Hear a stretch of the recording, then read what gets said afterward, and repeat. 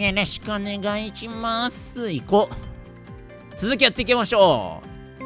えー、大和節。第105話。大和節。同時刻。清掃官の休館。クレイジー B の一室。クレイジー B の一室？蜂の巣へようこそ。アルカロイドの諸君。クレイジー B って自分の家のこと皇室って言ってないの？なんつってな。俺っちの招きに応じてくれて嬉しいぜ。無駄に待たされた分色良い返事を期待してもいいんだろうな。ご招待されてる。こちらも考えをある程度はまとめてきましたが結論は交渉次第といったところでしょうか。あ一応余白は残してる感じ？ええー、でも確かに。えでもどうなの？うんリンね今のところ出禁アイドルだからね。現状クレイジー B の皆さんが我々に何を求めているかも曖昧ですしね。まずは詳しく話を聞きたいところです。ね。炎上を求めてないよねリンね。うむ。しかし意外と近くで暮らしていたんだね兄さん。確かにリンネえ同じ宿なんだ。清掃官なんだそういえば。あ違う清掃官じゃないか。同じ休館で寝泊まりしているらしいと聞いてはいたけど日頃は全く姿を見かけなかったような。あ。何してたの？漁業やってたんじゃない？海にいればだって会わないからさ。あんまり使ってないっすよねこの部屋。ヒメル君は事情があってどっかの病院の近くで暮らしてるって話ですし。どっかの病院？えどこ？琥珀ちゃんは黎明学園の寮に荷物があって引っ越し作業する時間も作れないからってそっちで寝ることが多いっぽいっす。あそうなんだ。はあ。黎明学園の寮に荷物があって引っ越しああそうなんだ。えじゃあアジトって感じ？どっちかというと宿泊宿というより。ねえ。ここであの炎上騒ぎを計画立ててるんだね。あれ？クレイジー B はほぼ完全に俺たちと同じ立場っぽいし、うん、夏休み中は清掃官で寝泊まりしろって命令が事務所から来てるんじゃないの？確かに。でっけえ文字で書いてあったよねあれいや命令はされてるんすけどみんな黙って従うような性格じゃないっすから。あそうだ。えそのパターンっていいの？バレたらアウトだよね。でももう現実的に考えるとアウトなことしてるから見境なくアウトなことしても今更いいでしょって感じ？一回一線越えるともうその後境が分からなくなるみたいな？別に逆らっても罰則はないっぽいしまあいいんじゃないですかね。罰則ないの？うんこの椎名って人は割と朗らかな普通のお兄さんって感じだけどそういうところはクレイジービーっぽいな。確かに。無法者すぎるよ。割と傍若無人なアルカロイドのみんなが常識人に見えるアングラアイドル？感じ？いやでもの罰則ないなら真面目にルール守ってる人たちがちょっと損知らない？あでも言われたねたっちゃん先輩に。我らは正しい道を行きましょうって。私たちの行くところ全てが正道となるようにこれからも道を整備しましょうって言ってたね。僕も普通に住み慣れた自宅のアパートで暮らしてるんすけど。なんだよ。え別荘があるってこと？この家別荘代わりに使ってんの？ニーネ君はこっちで寝りゃいいのに。なぜか毎晩うちに転がり込んでくるんすよね。あそう。サンマのまんまみたい。え？なんか文句あんのかニキこの野郎。ブチギレてるリン。ここだと自分の面倒は自分で見なきゃいけねえけどてめえのところだと3食昼寝付きで暮らせるから楽なんだよな。よく入れてるね。だってほぼ盗賊だよこれ。うん。もはや慣れてるっすけどニンネ君はなんで他人の迷惑とか考えられないんすか？クレイジー B だからだよ。あと2機の財布から金を抜けばギャンブルもし放題だし。やばすぎ。それは普通に泥棒っすからね、もうやだこのクズニート。他人に帰省せずに実家に帰省してほしいっす。ほら弟さんも迎えに来たことだし。実家には帰省できないっすよ。うむ。玉座から逃げるだけでも問題なのに盗賊にまで落ちるとは嘆かわしいお兄さん。あ盗賊だよねやっぱり。海にいれば海賊山にいれば山賊。いつもクレイジー B は続々盗賊。っ てか。言い得て妙かもな。王様と盗賊の際は権力と正義の有無だけっしょ。それが国だ。そういう意味では俺っちも自分で思ってるほど変われてねえのかな。おー。てか今更だけどよ。やっぱり弟くんは俺っちを連れ戻しに来た感じ？そうだよ。だって俺っちですを連れてかないとヒーロー的にはダメらしい。うむ。前から容体が安定しなかった父がついに倒れたからね。父親は何？やっぱ厳しい人なの。子供を継がせるために子供を育ってる感じの人？兄さんには大事に備えて父が存命のうちに帰郷してなるべく早く王座を継いでほしいリンネが帰ってきたら心拍数100上がるかもね。せめて一時的にでも故郷に帰っていずれ王座を継ぐという旨をみんなの前で宣言してほしいよ。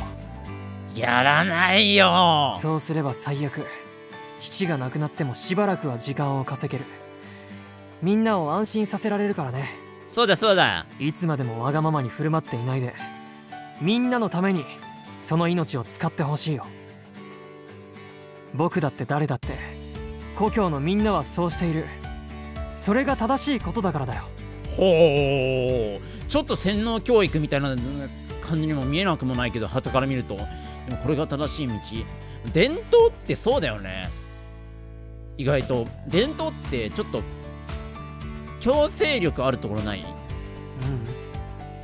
王の長子として生まれた以上それが兄さんの天命だよこれをいいことと捉えるか悪いことと捉えるかはやっぱりあなた次第。いやいや王ってなんすか？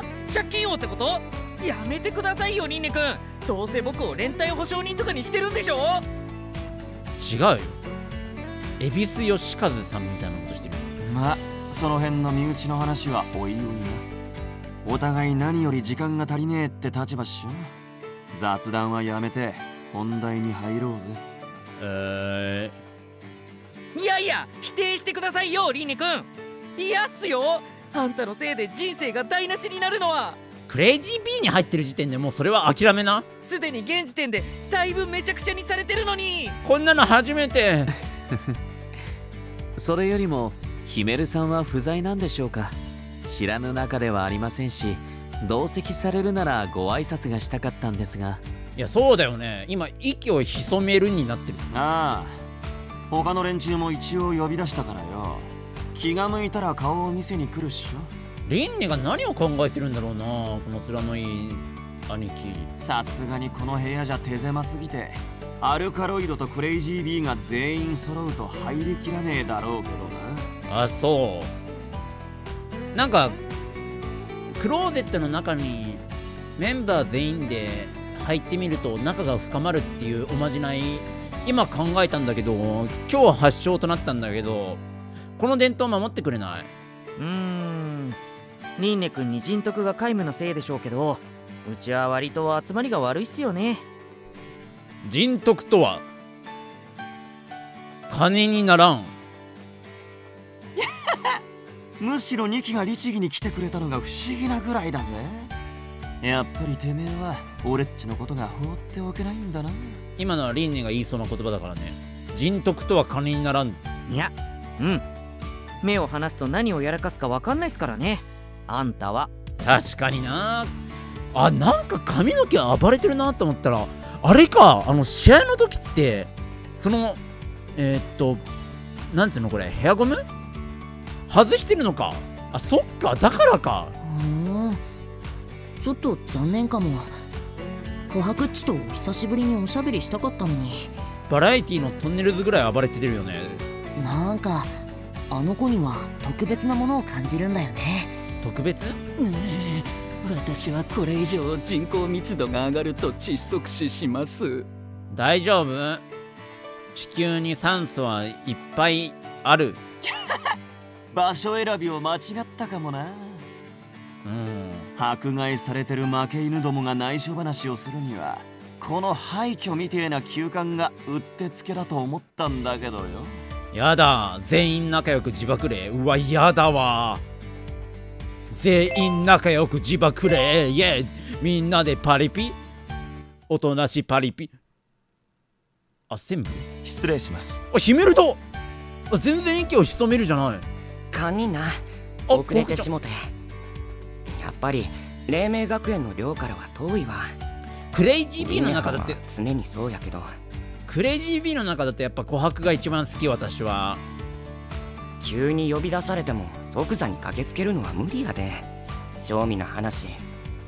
おおこの二人はどっちかというとなんか常識人っていうかまあまあ感性は一般人に通ずるものはあるよね。きっと。お？二人ともこんちゃーっす。来てくれて嬉しいっすよ。僕だけでニンネ君の手綱を握るのは無理っすから。なんで？ミスターゴールドシップを手なずけてみなよ。せやろな。てかわしが加わってもそれは無理やで。無理なんだ。ガリバートンネルみたいにする。なぜか部屋の外で突っ立っとったヒメルハンも連れてきたからある程度はリンネハンの制御も可能やと思いたいけど。もうリンネハンなんか人扱いされてないよね。ああなぜかリンネ君ヒメル君の言うことはよく聞くっすよね。いやでも頭は回りそうだからなリンネ何も考えてないってことはまずないと思うんだよ。てここまで作戦通りだとしたら相当怖い。つうかちょっとでも機嫌を損ねたりするとメルメルは簡単にクレイジー B から脱退しそうなんだもんよ。あそうなんだ。まあ確かにね。ソロで長くやってたせいかね。我が強いっていうか。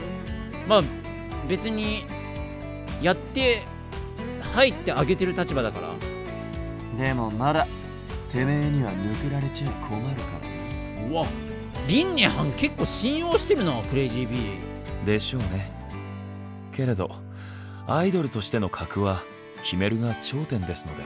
おー。ヒメルならそう言った。書類上はリーダーだとはいえ天城の言うことを聞く義理はないのです。まあ確かにね。まあそれはそうだよね。アイドルとしてはね。全くもって煩わしい。ユニットなどヒメルには足かせになるだけですえヒメルならそういったはよくクレイジー B に入ることを了承したね。だって結構自分のアイドル像って決まってたものあるでしょ？アイドル時代に。暴れてたアイドル像が。その路線で多分行ってないよね。安全な位置で情報のみを得ようと思ったら大川が無邪気に一緒に行こう。に行こなんて？何でもありません。同棲した思考と痛いけな感情が同居している点が大川のチャームポイントだとは思いますしね。うえ？えなんで褒めてくれたん？え？おおきに。悪口言われたよ琥珀琥珀班。聞こえてない。ちょっとかわいそう。ヒメルならそういった結構毒舌だった。あんまりアイドル像変わってないのかこう見ると。おーい琥珀っちえっと俺のこと覚えてる？なれなれシードえあー。ああ白鳥班やろ？忘れかけてる。書類上で顔写真だけ見てもしかしてって思ってたけどやっぱり前にお月班の下でおしゃべりした子やんな。ロマンチックロミオとロミオみたい。こっこっかなんぞ知らんけどわしらは不思議な縁で結ばれとんのかも。あ確かに。人とも小柄だしね。うん。俺もなんかそんな感じがしてる。おおそういう意味では俺たちにも不思議な因縁がありますね。ヒメルさん。確かにこの2人はトップアイドルでしょ元。ご無沙汰していますこうして面と向かって話すのは久方ぶりですな。なんかやっぱたっちゃんたっちゃんたっつやん。たっつやんさ。風格あるよね。品も風格もある。はい。息災なようで何よりです。辰巳。辰巳？辰巳？あれれ二人はお友達かなんかっすか？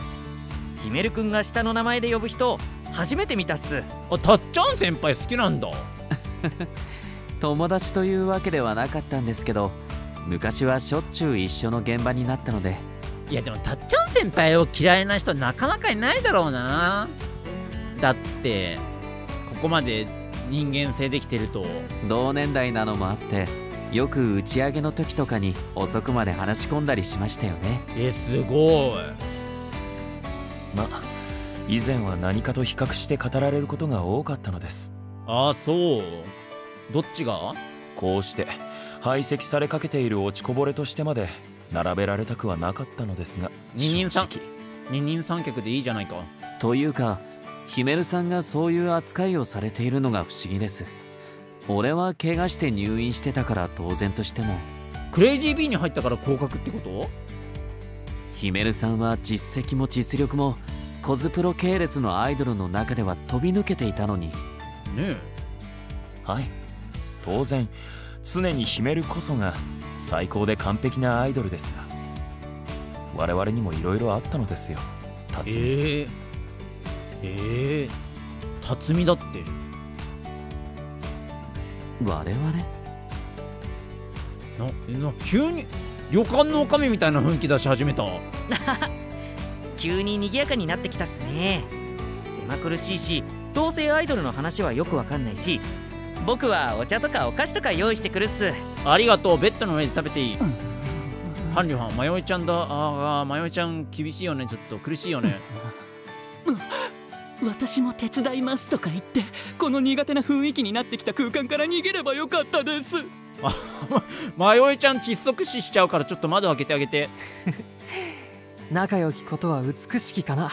そして美しきことは強きかな。だね。おおヒーローそういう言葉も習うの？やっぱり家系で？あ？それ後半は余計っしょ。あれ？同郷のはずのお兄さんが疑問を呈するってことはなんか格言が微妙に変な感じなのはヒロ君特有なんだ。あそうなんだ。変かなむしろ故郷では兄さんが口にする言葉こそみんなに変だ変だと言われていたものだけど。え？え？その故郷その限界村なの？その子は。ちょっとわからないけどさ。えその故郷が常識から外れてるってこと？まところ変われば品変わるってことっしょ。ちっぽけな故郷が世界の全てだと思ってるようなてめえらにはわかんねえだろうけど。今から手組む相手に随分と言ってくれるじゃないか。まあいいや。いい加減本題に入らせてもらうぜ。何度も言うようだけどよ。俺っちたちは崖っぷちに立ってるそうだね。のんきに笑っておしゃべりしてる場合じゃねえっしょ。このまま沈みゆくのもまた一興。うむ。それはそうだね。僕たちも決して暇ではないんだよ。ふう結構警戒してたけど割と和やかな雰囲気だよね。確かにバチバチやってないね。ヒロ君もお兄さんを見たら正気を失いそうだと思ってたけど意外と淡々と話してるし。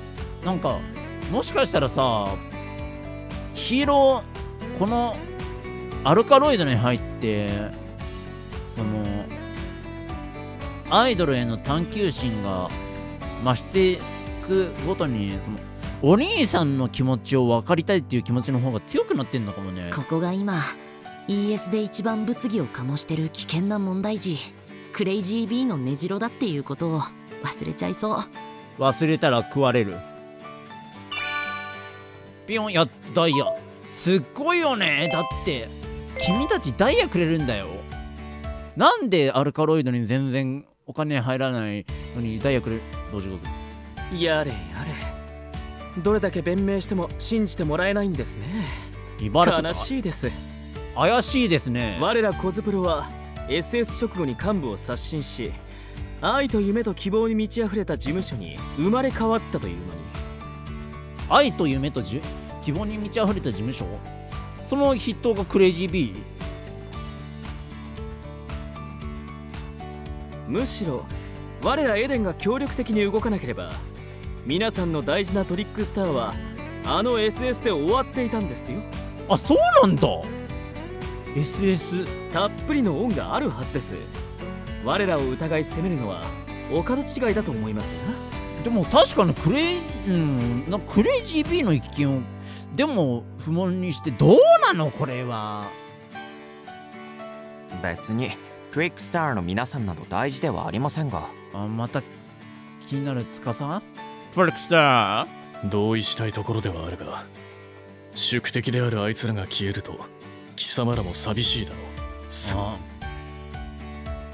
クレイジーどうしようか？ポリコレ枠で入れる？まあ我らナイツがベイク3と歌われるようになってからも 気軽に挑んでくるのは彼らぐらいですからね。暇つぶしの相手ぐらいにはなります。ええ。ちょっと期待してる自分がいる。ネイティブになってほしい自分がいる。そうでしょうともトリックスターは常に話題を生み出しアイドル業界に新陳代謝をもたらす起爆剤です。物語の主人公のようなね。物語の主人公。はけれど最近の彼らは多数派が息をしやすいように整えられた ES において以前ほどには好き放題にも動けずに窮屈そうにしていますね。あそうなんだ。良くも悪くもって。で大体世間が言うのが昔のアイドルは良かったよな。までセットでしょこれ。そう。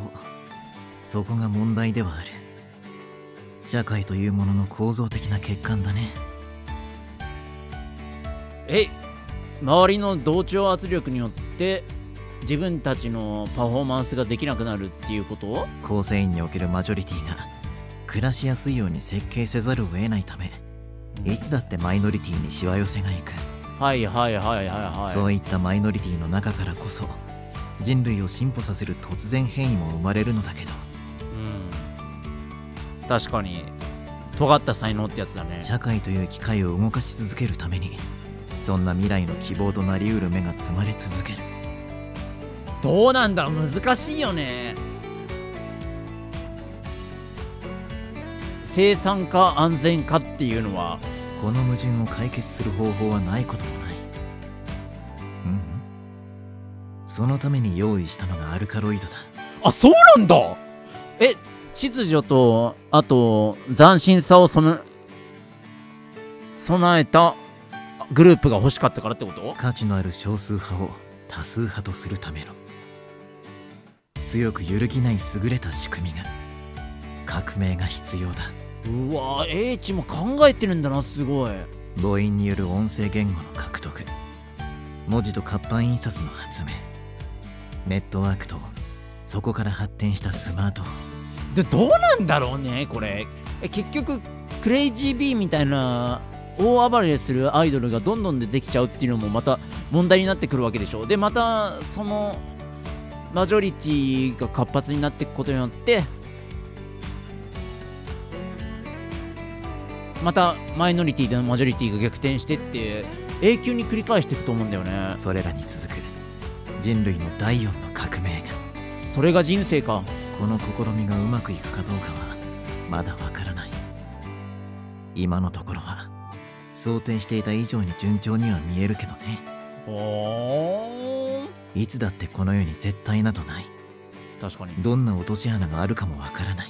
確かに。そしてアルカロイドにとってきっと最大の落とし穴になるのが。最初に持ち上げすぎたので誤解されているようですが我らもクレイジー B には手を焼いているんです。クレイジー B に手を焼いてる。いや本当に困った連中ですよね。本当に困ったって思ってる？困った困った。困った困ったって吐き出してる。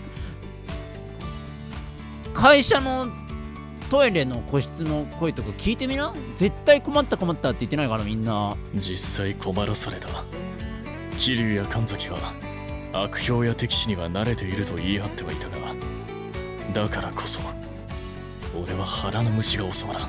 ああ優しい。仲間思いだなケイトは。あいつらにはもう二度と泥をかぶらせたくない。いや確かに真面目にやってる人が損する世界は避けたよね。うわ真面目だねケイト。なのにクレイジービートの対戦のおかげで俺たちは新人に土下座をさせていびっている高圧的な連中とネット上などで罵られている。最低だぞクレイジー B あまりにも暴れすぎ落ち着きなさい。無論擁護してくれているものが大半だが。あそうなんだ。あそういう人もいるってことね。あっさり騙され不安になって幻滅したなどというものも面白がって林立てて火をつけたがる連中もいる。あーあるよねでも。ちょっとしたミスでピックアップしてでそこに焚きつけるために大げさに書くみたいな文章用法もあるからね。今は消火作業でキリキリ舞だいい迷惑だ。うわアイドルって大変なんだな。ほとぼりが冷めるまでは表舞台では満足に活動もしづらいしな。クレイジー B が正統派じゃなくて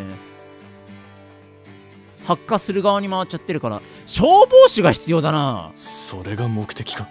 貴様。クレイジー B を使って商売敵を牽制しているのか？そんな姑息な手を使わずとも貴様らエデンの立場は盤石だろうが。エデンは神でしょ？諸行無常ですよ先輩それは夢の先学院にて生徒会として君臨していた皆さんの方がよくご存知でしょう？もちろん先ほどのご指摘についてはとんでもありませんと否定しますが何度も言うようですが自分たちをクレイジービーという怪人を操る悪の組織のように思われるのは困ります。見えるけどな。最終回に出てくるどころか劇場版まで引っ張られてで劇場版の最後でようやくシルエットが出てくるぐらいの黒幕に見える。怪人は必ず討伐されるものですしね。可愛い事務所の構成員を戦力をそんな立場に追いやる鬼畜がいるわけがないでしょう。いやでも確かにイバナにしてはあからさますぎるよねクレイジー B でも放っておいてるのも確かだよ。だからこそ。だ。あいつらに憎悪や批判を集めるだけ集めておいて正義の味方たる貴様らエデンがあいつらを討伐する、そして世間からの称賛を浴びる。という筋書きではないのか。あ茶番ってことこれ。ケイトが好きなやつだ。へえ。完全懲悪ですね。うん。完全懲悪好きだけどな結構私も。でも完全懲悪の物語って最近全然ないよね大体なんか悪にも理由があって悪にもちょっと一理あるよねみたいな方が多いよね。昔のさ映画とかは一方的に人を殺めたりしてでその人たちをヒーローが助けるっていう展開が多いよね。ジョーズとかはどうなるんだろう？ジョーズも完全懲悪なのかなあれ。サメサメサメサメだよ。よりにもよって貴様らが言うな。正義の味方ども。正義の味方？かつてフィーネが。いいな。我々がご貴人に対してやったことが有効なのはいかんながら歴史が証明しているしな。何やったの？わざわざ我々とか言いよる。レイ君。もしその推測が事実ならば悪役に任じられたクレイジービーはちと哀れじゃのお確かに。その面もあるよね。さすがレイ君。ここでレイ君豆知識。レイ君のボーダー縦線ロンティは5センチ間隔で線が引いてあります。かっこ証拠はありません。けれどさすがに狭い箱にわたる学校の中ならいざ知らず。世間のすべてを己が思い描いた通りの物語に入れ込めるとは。人類のすべてを恣意的に操れるとは。まさか三枝君も思い上がってはおらんじゃろ確かに一大事件だしね。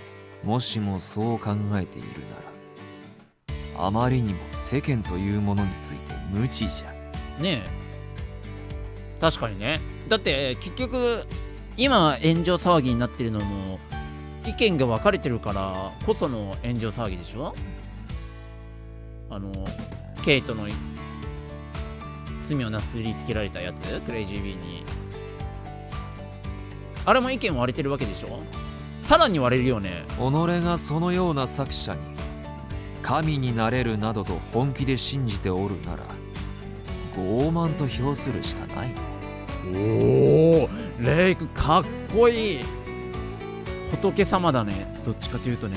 よちよち歩きの子供ならば無邪気だなあで済むがここは大人社会じゃぞ。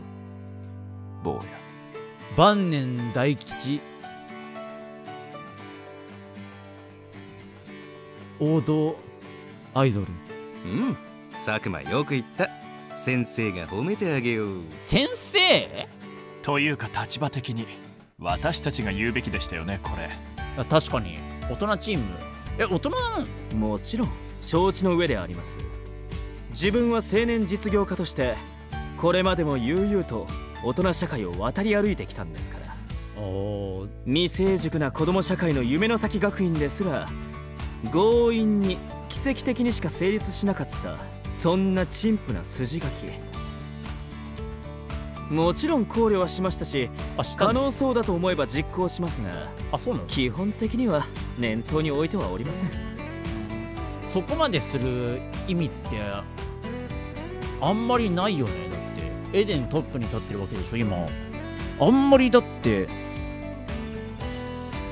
これ以上自分たちの地位上げてどうするのって話になるし。陳腐とか言われておるぞ蓮見君。陳腐かわいそうにねケイトの話は綺麗事が鼻につくけど結構面白いのに。鼻に。えだからフィクション作家とかに向いてるんじゃないの？小説家とかすごい向いてそうだよねケイト。やかましいぞ幼なじみども。それでは貴様の目的は何だ？あ幼なじみなんだ。うわすっごこの二人大人びてると思ったら。悪事は必ず露見するものだしこの場にいるのは先ほどのような会話も笑って聞ける程度には理解があり頭も回る連中だ。確かに。英知の言い分ではないが事情をつまびらかにして協力を請うた方が得だと思うがえでもえクレイジー P に後ろ盾があるってこと？同時にここにいる全員にあなたが疑われ悪と断じられ総力戦を仕掛けられたら、うん、コズプロもあっさりと潰れてしまうということをお忘れなく。確かに。うん。楽しそうで何よりだけどアイドル活動は遊びじゃないんだよ。あケイト怒られてる。あケイトが怒られた最終的に。えー、でも王道系の物語としては 皆さんのおっしゃりたいことはよくわかりました。ひとまずいい加減長話になってきたので一旦まとめましょうか日本人は話が長い。ブラフかもしれませんが皆さんがどの程度までの情報をつかみどういう考えを抱いているかは大体把握できましたしね。本当かな？この中に黒幕いるかもよ。譲る以外あれはどう考えても俺がボコボコにされるのを面白がって見てるだけです。ポップコーン食ってるんだろうな。推測していた通り元夢の先の生徒会の皆さんやご貴人は過去の経験則から、うん、どうしても思考がかつて夢の先学院で描かれた革命物語に引っ張られるようです。え？その起きた革命え革命返しをしようとしてるってことなの？元の世界に戻したいってことなのかな？唯一その時代を経験として知らないはずのナイツの若き闘士も、基本的に自分のことしか考えてない感じですしね。ナイツ？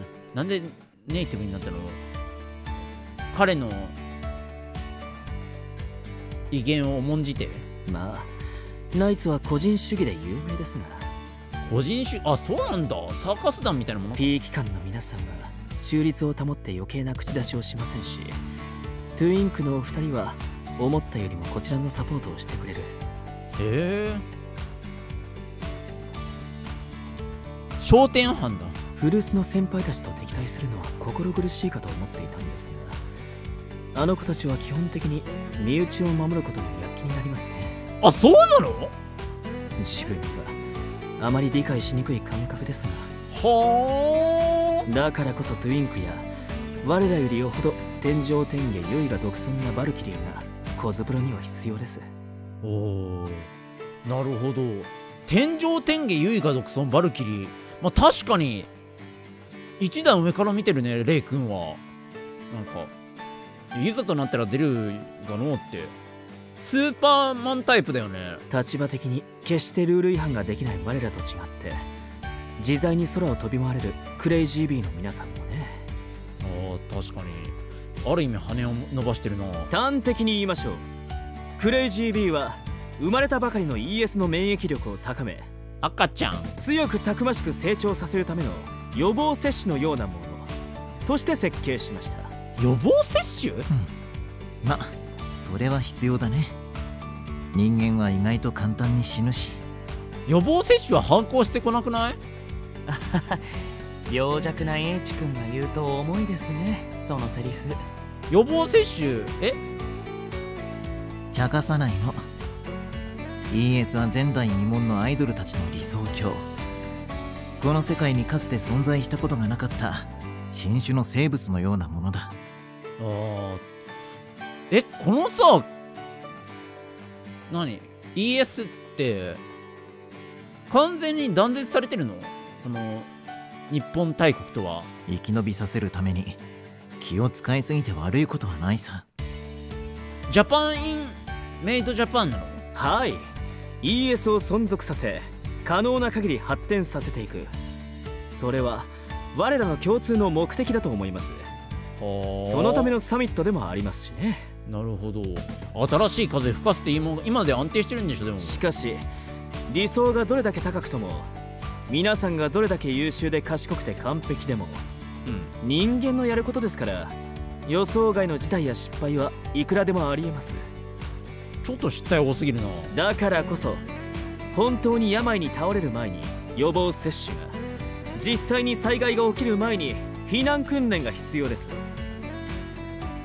予防接種ならクレイジーワインすればよかったのこれから先も生き延びるために不可欠な準備です。はあうん。道理じゃ。人類は唯一。未来を無双し運命を変更できる動物。何かが起きる前にできる限り備えておくのは当然じゃの。ありがとうございます。レイ君からのありがたきお言葉ありがとうございます後で習字でプロに書いてもらいますね。この一言を一つの紙に。僕も同意するよ。先人の谷から這い上がってきたものだけが強く成長できる。なるほどね。うんうん。わざわざ本当に谷底に突き落とさなくても全員が生き延びられると確信できるまで育て抜くのが人間だ。あクレイジービー予防接種っていうかあれかその予防接種のワクチン側じゃなくてウイルス側ってこと？あそういうこと？そのための知性だよ。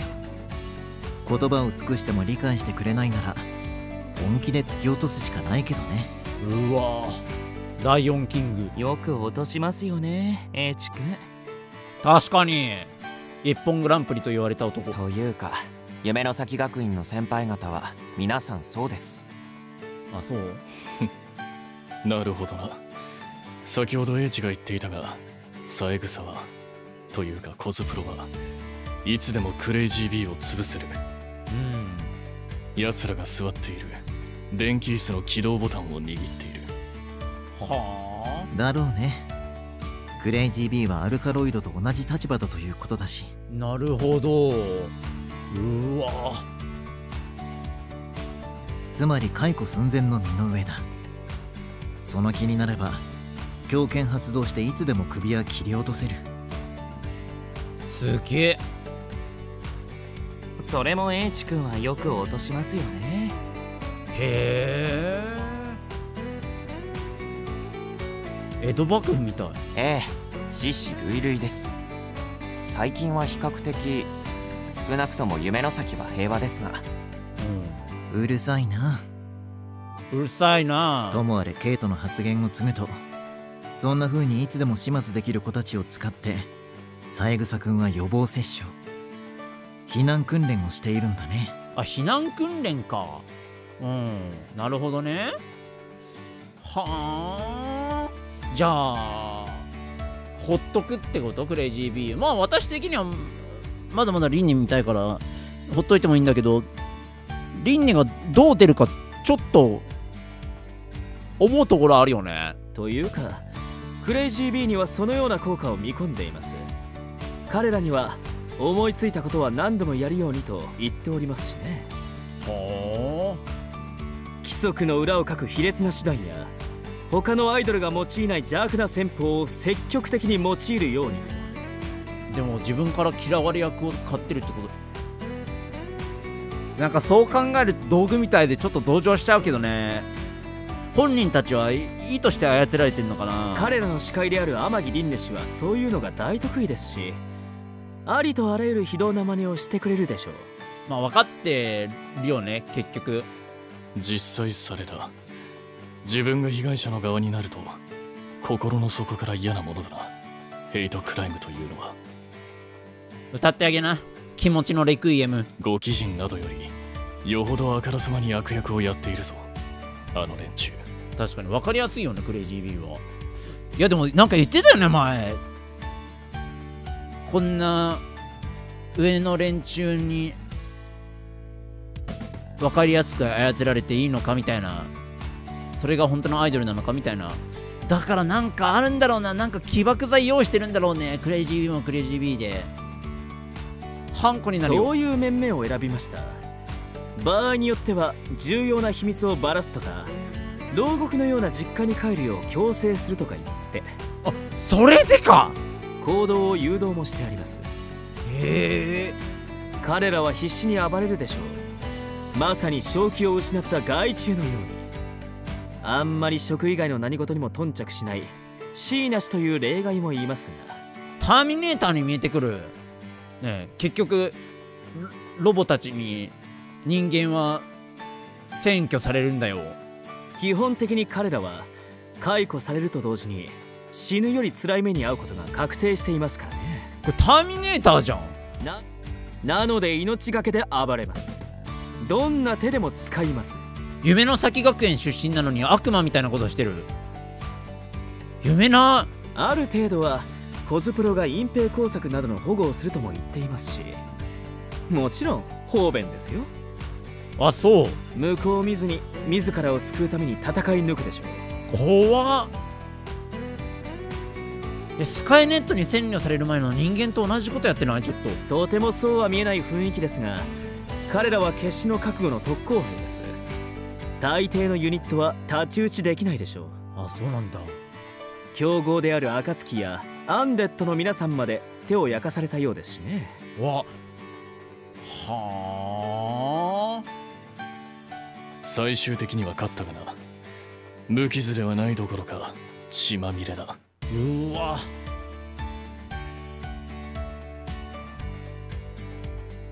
え？これさ避難訓練にしては実際に火つけられてるんだよねきっと。それって訓練なの？だが散々揶揄され罵られたおかげで自分たちを客観視し暁に足りない点や未熟な点があることも知った。まあ確かに。どの部分をどのように攻撃されると痛いのかということもなあ弱点が分かったってこと？同時に意外と悪意に強いというか体制ができていた仲間たちのことも改めて知ることができた。必要悪ってこと？つまり。敵を知り己を知れば百戦危うからず。俺たちは昨夜の一戦を経てより強くなった。対処法も学んだ。もう二度と同じ戦法は通じん。うわすっ免疫がついた。ということだ。貴様はクレイジー B にそういうことを ES の全てで何度も繰り返させることで。アルゼンチン代表みたい俺たちを全体的に強くしようと目論んでいるわけか。なるほど。最大限に善意的に解釈すればな。こちらが納得して予防接種を受けたならまだしも。あそうだよね。いきなり問答無用で針に刺されたのだから不快感の方が強いが。そうだよね。予防接種は強制はないからね。事前に言っていたら訓練にならないでしょう可能な限り本番と同じ環境を作らなければ意味がありません。でもお手バカだからわからない。とかいうアイドルだったら救いがあったかもしれないけど暁はそういうタイプじゃないからな。予告するだけコストの無駄です。バカバカしい。バカバカしいだって。最先端のアスカ・ラングレ。ー自分はビジネスマンです。必ず投資した以上の額を回収します。なるほどね。荒領事ではありますが今後 ES をより強く成長させるためには必要な通過儀礼だと考えます。はあ。バラエティで強制的に足つぼマッサージさせられて絶叫してる絵と同じですか？そのためには犠牲が出るのもやむなしです。それは我らにとっての成長痛です。強くたくましい大人になるためのね。それ言っていいのは被害を受けてる当人だけじゃない。でも茨。って思いますけどね私は。